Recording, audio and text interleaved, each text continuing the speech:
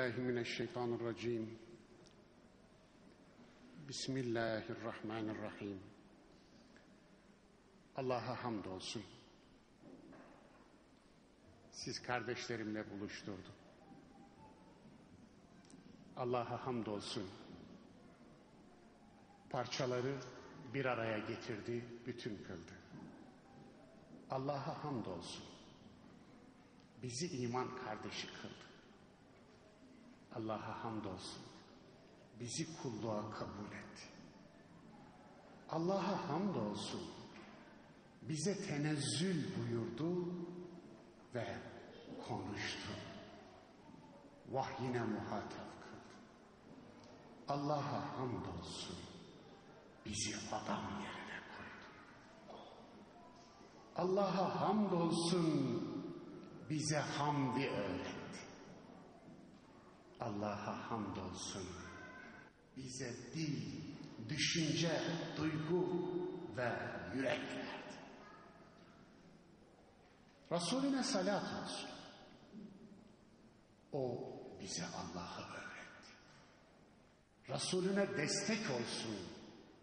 O bize aydınlık ve pırıl pırıl bir yol bıraktı. Resulüne salat olsun.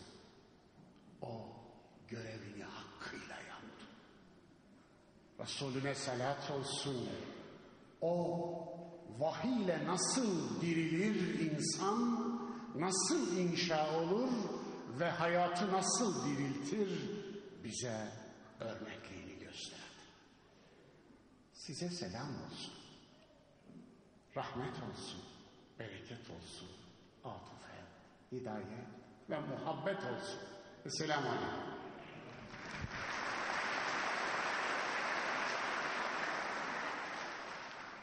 Değerli kardeşlerim, vahyin, Kur'an'ın şahsiyeti inşası konulu bir muhabbeti, bir sohbeti paylaşmak için huzurlarınızdayım.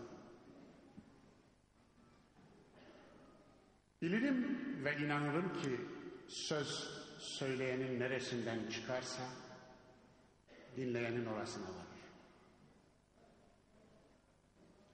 Rabbimden dilerim ki sözlerim yüreğimden çıksın, yüreklerinizi bulsun. Eğer siz sözlerimi yürek kulağıyla dinlemezseniz size söyleyecek hiçbir şey bulamam. O zaman sözümü kendime söylerim. Ey Allah'ın Mustafa kulu sen yüreğinden söylememişsin bu sözü der. Suçu kendine yazan. O zaman beni kendim karşısında suçlu çıkarma. Olmaz.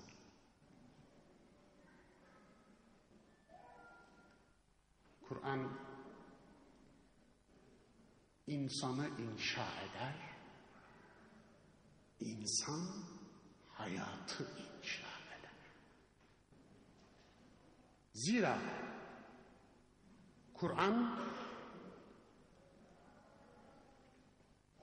insanın ruhudur. Eylemin ruhudur. Amelin ruhudur. Kur'an'ı insandan alırsanız, vahyi insandan alırsanız, insanın eylemleri ruh